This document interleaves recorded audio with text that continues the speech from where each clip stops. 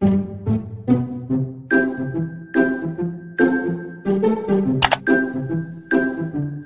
ယောက်သေးနေတနေ့ကုန်ဆုံးကြည်စမ်းကြည်လောက်ကြတယ်ငါလေးရှိစိတ်မင်္ဂလာပါစာပေဟင်းလေးဝ channel ကနေပြန်လည်ကြိုဆိုလိုက်ပါတယ်ဒီနေ့မျှဝေပေးမယ့်ကြပြာလေးကတော့ဆရာဇော်ကြီးရဲ့ဂုံအလှဆိုတဲ့ကြပြာလေးပဲဖြစ်ပါတယ် ငါညီပြောင်ဝင်းမောင်တည်စင်မင်းဤသားငယ်တက်20သည်ဘဲဂုံမျိုးကိုကြိုက်သည်နီ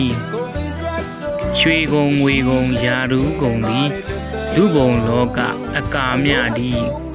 သူကညူစုမကြည်ဖြူ၍ခွာယူလိုကခွာ၍ရရိုးကုံဖြောင်းကုံရင်ကျေးကုံသည်လူဘုံလောကနှစ်သာရတိ သူကညူစုမကြည်ဖြူလဲခွာယူမရခွာမကြကျေးဇူးတင်ပါတယ်